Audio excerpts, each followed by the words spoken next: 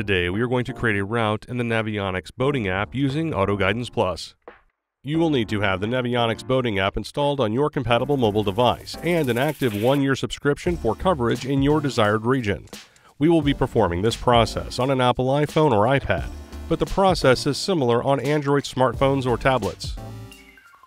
First, we will check our boat settings. This is an important step before creating your route. Select Menu at the bottom of the screen. Tap on your name or me at the top of the screen to go into your profile. Select Boat to take you to your boat settings. Set your boat's draft.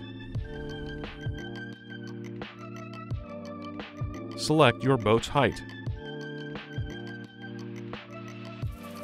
Select your desired shoreline distance. This selection defaults to normal unless otherwise changed.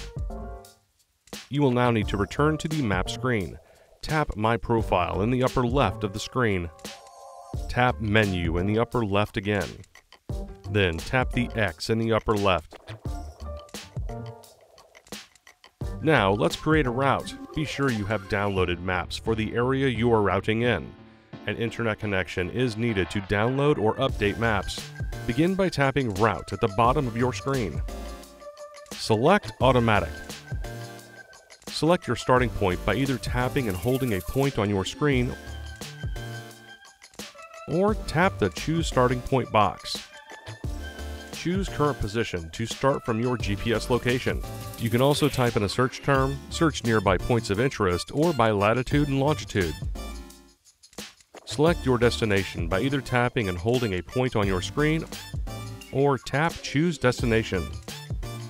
Here you can type in a search term, search nearby points of interest, or enter a latitude longitude. Your route will be planned automatically using Auto Guidance Plus once you have selected your start and destination points. Tap Save to save the route to your routes list. Or select Go to save the route and start real-time navigation. And that's it. Thanks for watching. For more help, please visit support.garmin.com forward slash navionics.